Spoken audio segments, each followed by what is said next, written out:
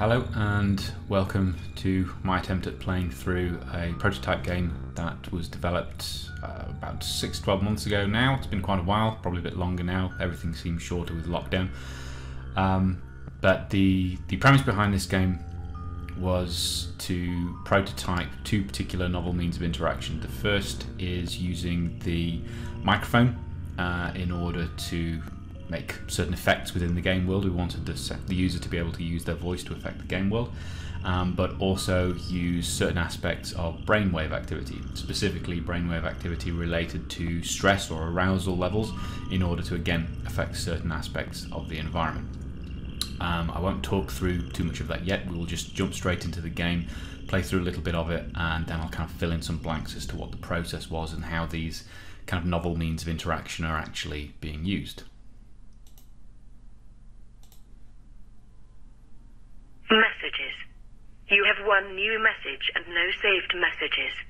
First saved message sent today at 14:47 p.m. Hello, it's me. Um, listen, I'm sorry, I'm running a little bit late. I don't think I'm going to be home tonight, but you should be okay. There's plenty of food in the fridge. The front door is locked. I've got the key for it, I'm afraid. If you do need to get out, you can get out perfectly easily through the garage. If you can remember the, the voice password. If you can't, I'm pretty sure I left it on the front page of my notebook, uh, which is in the safe. Um, so yeah, you should be able to get that in case of emergency. Anyway, hope you have a nice evening. Bye bye.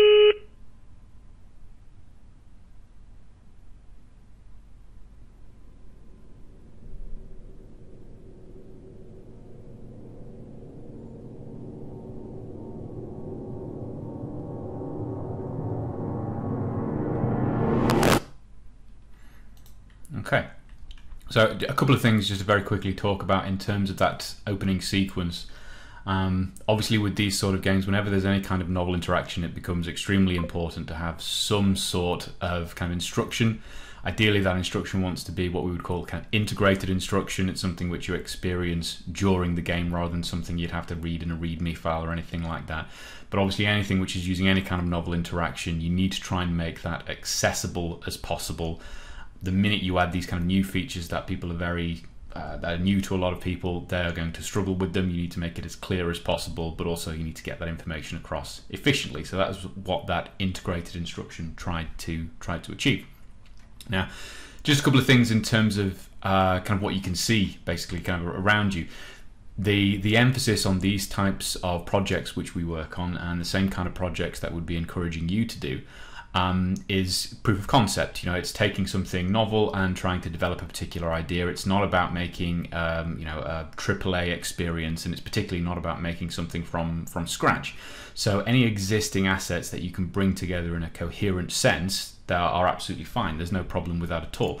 So um, some of you may even already recognize this particular um, kind of room simply from an existing asset pack. The entire house um, is lifted from an asset pack. The positioning of all of these um, pieces of furniture that you can see, the television and so on, is all taken from one place. The the video of the um, the, the jellyfish is taken from a separate place, and there is this wonderful plugin um, which I was able to get and was at one point freely available on the Epic Games Store, which does this wonderful little reflection effect.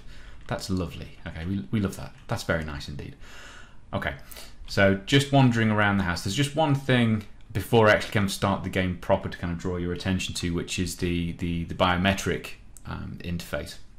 We'll get to the microphone in a little while, but with the biometric interface, which I am actually currently wearing, obviously it's not possible for me to kind of on command um, uh, come across as you know stressed or unstressed. It may come, it may just turn on and off, uh, kind of seemingly at random when I'm first starting the game. Obviously, the idea is as the game develops and the, the environment kind of ramps up the stress levels, you would find that most players would would respond to that. Obviously, if I designed the game, it's a little bit it's a little bit different. It's difficult to be scared by your own game. So what I've done is just kind of attach um, it's, it's shortcut basically the the stress and non-stress threshold um, to the Z and X keys. So if I just press Z, then I can simulate that particular effect. I turn X, I can turn it off. Um, the, the the principle was basically very simple. Whenever you're you're not stressed when you walk around certain areas of the environment, um, more or less nothing happens. um, when you are stressed, you're basically a little bit clumsy. So if I turn Z on, as you notice when I walked into the room, nothing happened there. But whilst I'm stressed, I'm clumsy. Oh dear, I've knocked that over. And when you're clumsy, you knock things over. That makes sound, and that's all about alerting your uh, your presence. Oh, sorry, alerting the the AI to your presence, which which we will get to in a second. So let's just follow the hints and see what we're supposed to be doing now. In development and testing, we found that having some sort of hint menu which was optional was very preferable. You didn't want something which was just constantly telling you what to do um, straight away, but if someone was lingering for too long in a particular space, then a hint menu usually prompted them to move into the move on to the next kind of point of play, but giving them the additional option of just being able to, to press H whenever they need to access it, just in case they missed that first hint when it came up automatically, was, was always very helpful. So it's telling me to go to the living room, so I'll do that now.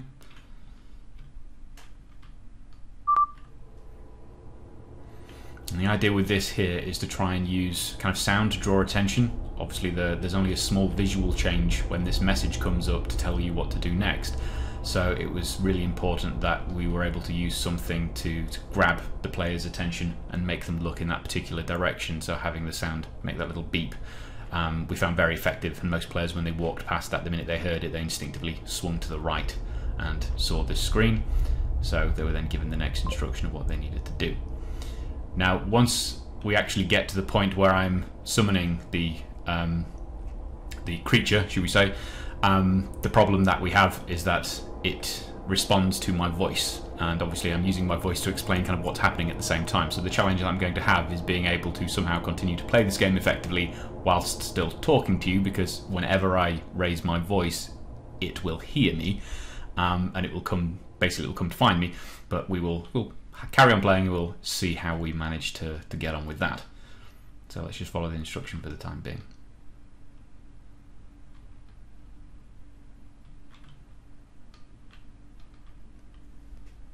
summoned.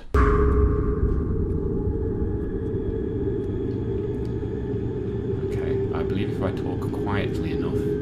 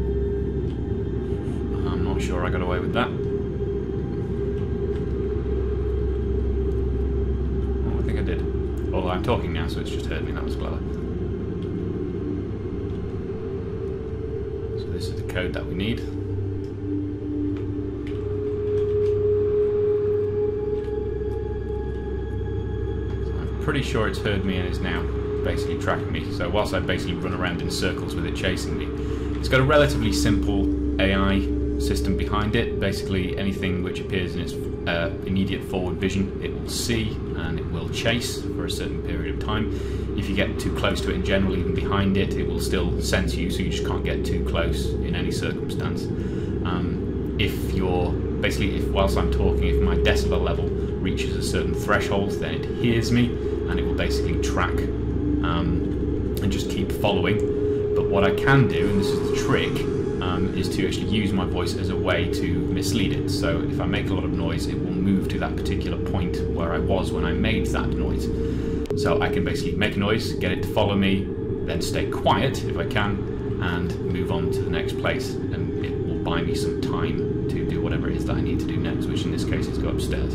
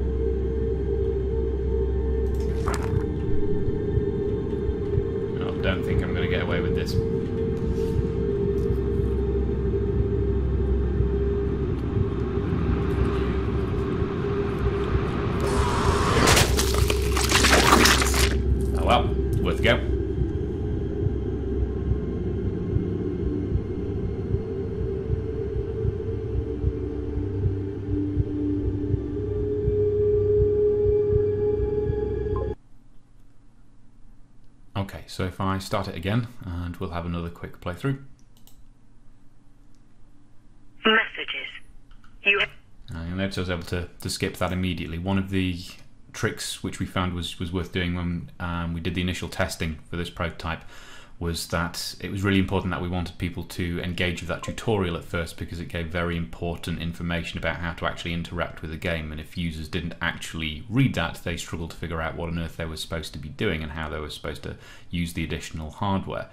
But at the same time we found that if the minute you gave um, the user the ability to skip a tutorial particularly a text-based tutorial they immediately took that opportunity. Even if it was the first time they played the game, they assumed, oh, it's a tutorial, we'll skip it, I'll figure it out. But then they didn't figure it out and they would struggle. So what we found was that it was worth making that unskippable. But ideally, I think what we've got here actually could be more nuanced than just having what we've got, which is a a hidden key that the user could press after the first playthrough in order to skip through. That's just a kind of a quick fix, really. Ideally, there needs to be a kind of a more persistent based, kind of a level based system, which means on you know, on the first playthrough, it will always play that, and then on the second and then subsequent playthroughs, there's in that instance the ability to skip it um, rather than making it automatically only available on the first playthrough. Because in, in that instance, there, there were again there were plenty of play testers who just didn't pick up all the information on the first the first run. They missed some of the text or they didn't interpret it correctly. So giving players after the first run through the ability to quit sorry to, to skip past it i think is the is the best way forward for that sort of instruction so just to make things a little bit more interesting i will i will play with the uh, the stress level permanently on after I've actually summoned the creature, just to make it. Although obviously I didn't complete it the first run through even without that on, but we'll we'll give it a go. Now, one thing you'll you, you might kind of spot is that the the code is accessible right from the beginning of the game, um, and that means kind of on multiple playthroughs that you always know. You know, once you've played through it once and you've found that safe code location, you know where it is. So theoretically, you can do what I've literally just done there: observe that code and then take it. Um, basically upstairs so you don't need to summon the creature come downstairs find the code and go back up again um, I did kind of experiment with a couple of different ideas one thing which which does change the the four code is randomly generated but that's at the start of the level what's not changed is the position of it um, it did kind of occur to me in later testing that it might be worth randomly positioning the actual code around the map, but that wasn't implemented uh, at, at, this stage. But at least the, the, the code is new, so you can't just memorize the code and take it from one playthrough to the next. But I can try and remember it now, 8145, and then take it straight upstairs.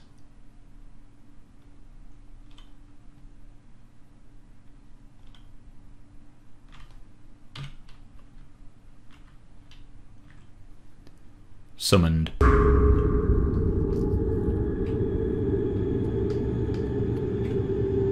I'm over here, creature.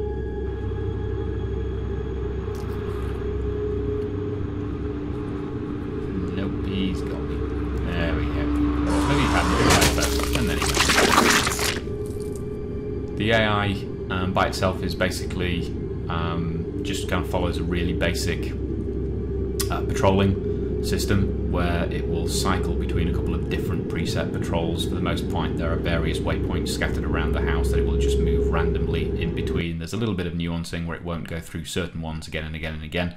But for the most part, it's basically once you've got to waypoint A, you'll randomly select between the others, move to the other one, and so on. That's unless obviously either it sees you or it hears you, or you knock something over. Messages. You. Okay, so let's let's have one more go.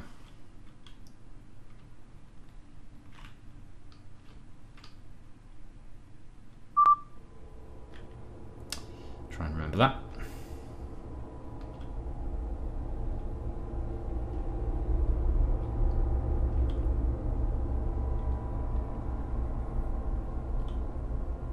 I was smart enough to at least make it so you couldn't enter the code until you got summoned the creature.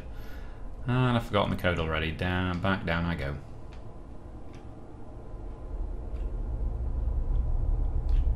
There we go.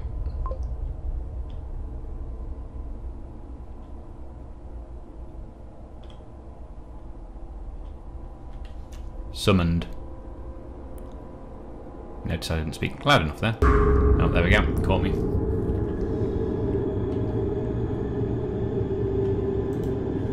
Just gonna move that.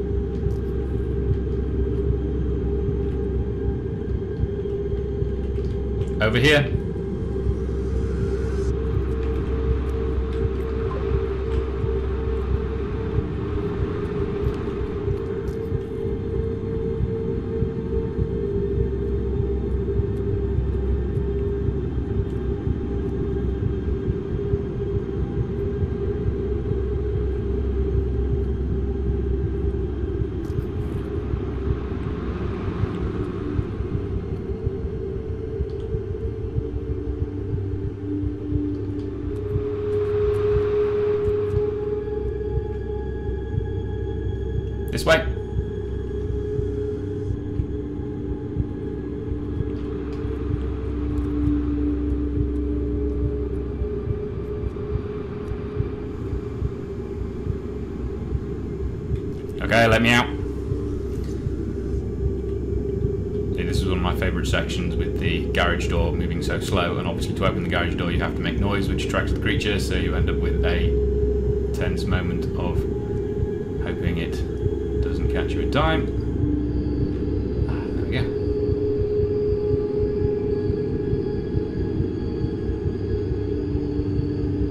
One thing which you kind of might have spotted throughout that was that the actual words that the game was telling me I needed to say in order to do the voice activation um, weren't actually necessary. And if you did notice that, well spotted. Um, there are absolutely certain mechanisms which you can use. There is uh, the Google API uh, voice recognition or uh, speech detection framework, which integrates really nicely into Unreal Engine 4 that you can use. Um, but we've not got running in this particular version of it. We just we just kind of simulated the effect or kind of faked the effect in this particular instance. Um, but that kind of system is very straightforward to implement as long as you've got all the API stuff kind of taken care of, and that will enable you to um, kind of require the user to say very specific passphrases in order to open doors. But the key aspect that we were interested in here was absolutely just that that vocal threshold. So you could speak quietly, but the closer the, the the creature got to you, the more quietly you needed to be, the more quiet you needed to be. Sorry, before it would hear you and it would track you. Um, hopefully, this has given you kind of just a couple of useful tips um, on using certain uh, what we would call innovative. Um, whether it is innovative, I will leave you leave you to be the judge of that. But innovative types of interaction mechanics integrated into, you know, obviously a very traditional game design. But hopefully, this will also give you kind of a sense of kind of the scope for certain projects. Now, I've kind of used the royal we when I describe the, the process of building this. Now, I had some support in the, the testing process, but largely speaking, the development was literally just me. So it was a single developer project done part time over roughly kind of two and a half months, so about 10 weeks. Now, I probably put in a little bit more time than would probably be expected within a 20 credit unit, but I think roughly speaking, um, the amount of time that I kind of spent was only a wee bit over kind of what I would say would be the expected amount for you to actually use um, for your development projects, be they you know single developer 20 credit unit type assessments.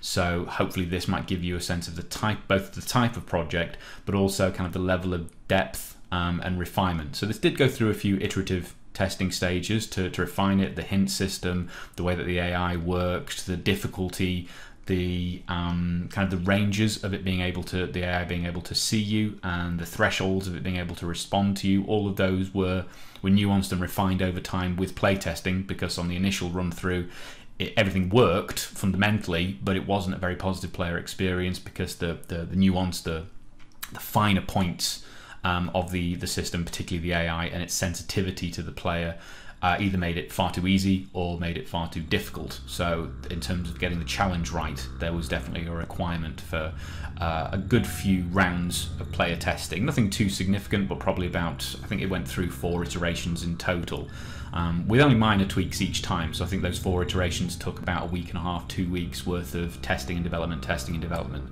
um, and then that was it. That was done. So it's kind of eight weeks for the first build, and then two weeks for testing and refinement was was the broad process that was gone through. Anyway, I hope this has been remotely useful um, for for anyone who's watching and it might give you some inspiration for the kind of project that you might be able to use, the kind of kind of novel interactions that you might be able to use for for this type of project um, and gives you again, like I say, a sense of maybe the the, scale um, of the type of project that you would need to do for this kind of assessment. Thanks very much for watching.